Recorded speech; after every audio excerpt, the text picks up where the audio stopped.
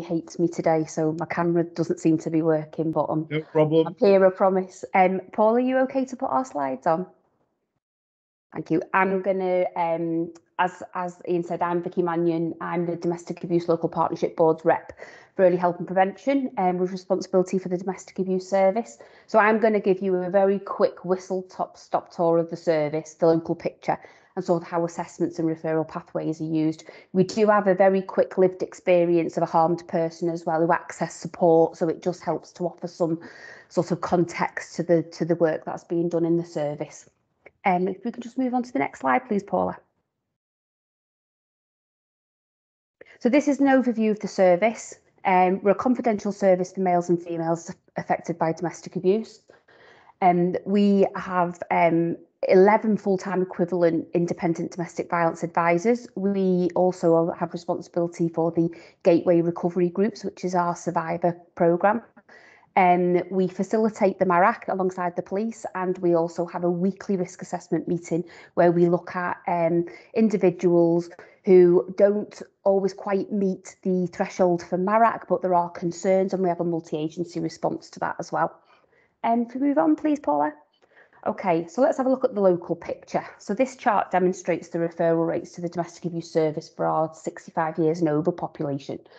Um, it's been broken down into male and female harmed people. Um, so as you can see, compared to the population, the figures are very low and lower still in respect of all the requests for support to the domestic abuse service, as all referrals make up 54.6 per 10,000 of the population. So our over 65 referral rates are very, very low in relation to the national picture, in relation to the overall. Um, could we just move on to the next slide? So what do we know? Um, so there's a clear reduction in requests for support for, um, for the older a person gets. There was a reduction of around 85% in the number of referrals made if you're over 80 and live in the Cheshire West area. Um, if you're a harmed person aged over 65 referred into the domestic abuse service, you're more likely to be referred by the police or a GP. You're more likely to be considered to be at medium risk of harm and be more at risk of being harmed by an adult child. You're more likely to be a carer or a cared for person. Um, carer stress and um, carer fatigue is quite a common feature in referrals. You're more likely to be isolated. Um, many of the referrals received um, for harmed people in our area reside in our rural communities. Alcohol is a common feature in referrals made. And you, you're more likely to have been in a relationship for a very long time and present with different views and values to relationships and marriage divorce and separation is often not a consideration. Um, adult children have usually left home or are now living back with you due to their own relationship breakdowns, adding additional pressures. You're less likely to refer yourself for support. And anecdotally, what we see across the service are there are themes like they feel like they're a burden to the service and, and don't qualify or they they shouldn't need this support. Just move on, Paula. So how do we do it? So what we say is don't be afraid to ask the question. Talking about domestic abuse can be quite challenging, um, but it's important to ask those in questions um, and using motivational interviewing skills and open-ended questions. Um, I think it doesn't always have to be a straight in answer around are you being abused by your partner? It's how are things with your partner? What's your relationship like? Tell me about it you don't seem yourself lately. I was wondering if something's wrong, can I help? And I think it very much goes into what Clive was just talking about around people asking, asking how are you and asking if you're okay. So the Dash RIC is the tool that's used to assess domestic abuse in, in, in Cheshire West. Um, the questions are yes and no answers. So we would encourage um, anybody to ask beyond the questions for example, the first question is, are you very frightened? Well, what does that actually mean for somebody? So what we try and encourage is people to use motivational interviewing techniques to ask beyond the question. So we would be uh, encouraging um, what does being frightened feel like for you? Can you tell me what it means for you to be frightened? How often do you feel frightened? Because in, in relation to looking at risk, somebody who's frightened every minute of every day is different on the continuum of risk to somebody who may be frightened a lot less than that. So it's around asking beyond the yes no question on the on the assessment. sort of as discussed in um, Hannah's brilliant presentation and the group discussions, the DASHRC um, asked questions that are unlikely to be appropriate for older people, such as, are you pregnant? But this is the tool we're working with at the moment while development work goes on. Um, so we have to make the harm, we have to make it work for the harmed person, not put them into the boxes. Um, so consideration could be given to elements that might affect, um, such as how they may be asked about the questions. So it could be that the so the question, for example, is are are you pregnant? But they could be um, a grandparent, and that pregnancy is going to add, add additional risk to that family, or it may change the family dynamic, which might increase the risk. Includes questions over child contact. So as an older person, you might provide childcare, and your adult child is abusive. So what we always try and suggest is the tool as a guide and on the back of the Our Ways of Working trauma-informed responses work that's been undertaken in Cheshire West. As a service, we've looked and added open-ended question prompts to the DASHRC and um, to support practitioners to ask beyond the questions.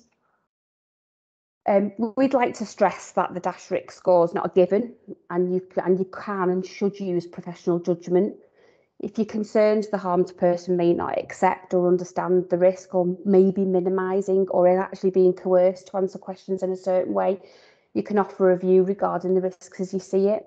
But things to sort of remember are, you know that you may know this person really well. Consider body language, expressions in your answers. His or her shoulders may be slumped. There was no eye contact. They were fidgety, uncomfortable. They may pick at their nails, um, you can add narrative to the DASHRC. So whilst you may not answer the, while you might answer no, that might reduce the scoring. You can add additional information that demonstrates risk. Sadly, it's not very common um, to have commentary on DASH risk assessments, but it's all a, a really good DASH risk assessment when it comes through, has quotes, it has what people have said, it has what um, we want you to say what you see. I, I want to, as a manager of this service, I want to be able to read a DASHRC and, and this this person is screaming off the page because I know lots of information about them because what's been shared. And what we'd say as well is trust your gut. You're usually right. You can't apologise, and you can sorry, you can apologise later if you're wrong or you've made assumptions for that person. But what you can't do is be sorry for not taking the opportunity to keep somebody safe. Um, so I'm going to invite um, Vicky Coates is one of my colleagues. She's going to um, read out a case study of a lady called Marie. Um, Marie accessed our service and um, and she's 72. So I'll hand you over to Vicky. Thanks, Vicky. Hi, everyone. Um, so I'm going to talk to you about Marie's story. I worked with Marie earlier this year, and I think it really clearly highlights some of the things that Vicky has been talking about there with the barriers and complexities that people face. Um, so we received a referral from Marie from the primary care as she disclosed long-term emotional and physical abuse which appeared to be impacting on her mental health and well-being to the point which she had suicidal thoughts which she had almost put into action. Marie indicated the abuse was getting worse and it appeared she wished to separate from her partner, who she'd been married to for over 40 years and shared three adult children and several grandchildren. Marie and her husband lived in a small Cheshire village in the family home they had owned all their married life. This was and held a lot of memories for Marie and no children growing up. Marie had come to the attention of DAIPS on previous occasions four years prior when talking to hospital staff the IDVA went to visit her, but she declined any ongoing support at this time. Marie described to her IDVA that many of her friends had passed away or were much less mobile these days, so she didn't see many people from day to day. They had downsized to one car and she wasn't as confident driving recently. She explained her children lived in other parts of the country and she only saw them on special occasions, one of which was coming up that weekend as it was a granddaughter's birthday. She then went on to say that her husband had caused an argument with their daughter over the phone last night, so they were no longer coming to, over to see them. She hadn't seen them for over 12 months due to the pandemic and became upset when discussing this with the IDVA. Marie didn't feel able to talk to her family about the relationship. She felt a lot of guilt that they had lived through it as children and that they now had their own lives, and she didn't want to make them part of her worries. Marie had recently been in hospital due to a stroke and was still recovering. However, she explained how her husband was also in ill health and she had to care for him on a daily basis by ensuring he had his medication and she would be the one responsible for cooking and cleaning at home. She described it as always being this way, as it was her role as his wife. Marie, however, didn't feel she had the strength to do this all alone anymore, but he offered no help. She didn't feel she had the strength to leave the relationship either, as she was unwell still and struggling day to day. Marie also felt that her husband's medical condition added to his behaviour, as he was much worse when he was in pain and would take this out on her verbally. The IDVA discussed a referral to adult social care, which Marie accepted quite reluctantly, but was very clear that her husband was not to know anything she had disclosed and felt that when the support was offered, he would decline it and that the process wouldn't help. The risk identification checklist that was completed with Marie came out as a medium, and it became clear that Marie didn't want to leave the relationship currently, but also that she didn't know her options if she wished to do so in the future. The IDVA talked through housing options and made sure that she had a number for the emergency duty homeless team, as previously Marie had slept in a car one evening following an argument as she had nowhere else to go. The IDVA talks about safety planning and areas of the home that may increase risk. During this, Marie explained that her husband knows she is scared of the stairs due to being frail, so she always tried to avoid arguing near these. Marie had become an expert in managing her own safety and had strategies in place. The IDVA was able to enhance these and discuss some practical things she could do, such as taking copies of her legal documents in case she needed them. Marie spoke to the IDVA on four occasions and stated that she felt better for knowing that people exist who can help if she needs it. To know she can have emergency housing or speak to a GP confidentially was a big comfort to her. Marie felt better talking about her situation and for being believed. She said it felt good to know this wasn't her fault. And although she didn't feel she wanted to leave, she knew that she could do in the future. Marie said she had lived her life and just wanted peace in her later years and didn't want to walk away from all she had built up as she was comfortable. She didn't want to leave her husband to fend for himself as she didn't think he'd manage. Marie also said that she felt a burden to the IDVA as her situation wasn't that bad and she knows that other people may need the help more. Marie was reassured several times that this was not the case, that services will always want to support her, she is always able to ask for help, and she will always be believed and be treated with respect, as she deserves to live a life free from fear and emotional harm. Thank you. Thanks, Vicky.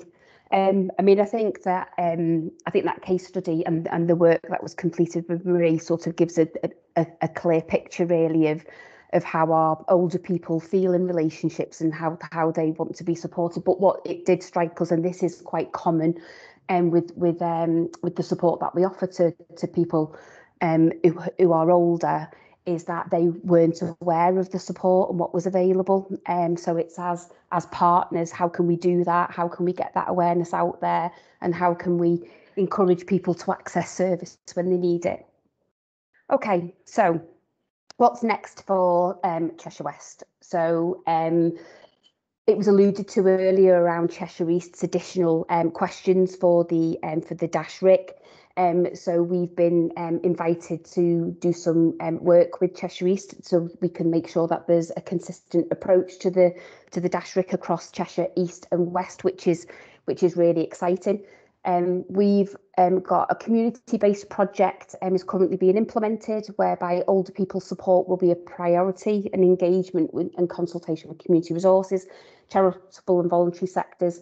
But, but for us, it's really imperative that we have an authentic voice on board with, with this and that we look to consult with our potential customers around what they want, what they need, what that looks like for them. So I would welcome the support of you all really to sort of um, help us with that journey a little bit and, and get that support right initially. Um, I was at an event recently where um, older people were captured in the hard to reach um, bracket and a discussion regarding this is around um, is this the case or as services are we hard to access um, rather than them be hard to reach um, and this will be very much a focus for the service and project development um, the service will continue to engage and collaborate with adult social care to ensure there's a culture of engagement and awareness of domestic abuse.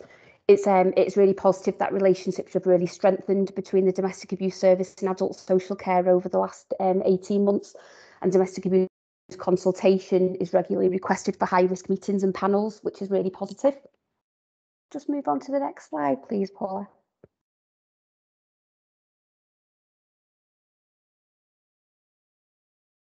So this is the um, the threshold criteria for support from the Domestic Abuse Intervention and Prevention Service. So the harmed person must be over 16.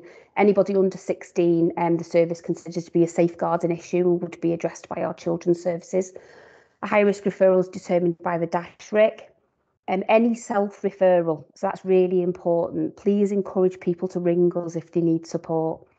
Any IRIS referral, which is identification of risk to improve safety, which is our GP pathway. We're very lucky to be commissioned by the CCG to run this um, to run this project. It has a very different feel um, to, to domestic abuse support. It's very holistic. We're usually involved for longer, and we do get more referrals for our older population through this pathway.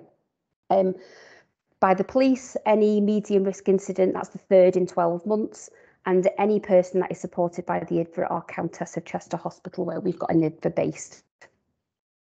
Next one, please, Paula.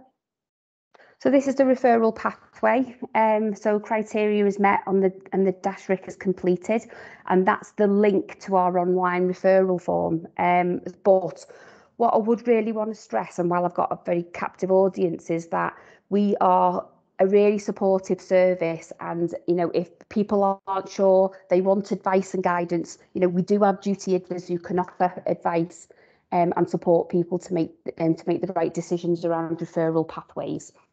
So please use us. Um, next slide please. And they're just some useful resources that we um, that we support people um, to access? Um, for any further information, open the door Cheshire and um, really good service. Um, it offers the whole across the whole of Cheshire um, for services and also for people who consider themselves like they might be harming people as well. So it's not just um, for people who are harmed. Okay, I think that was my last slide.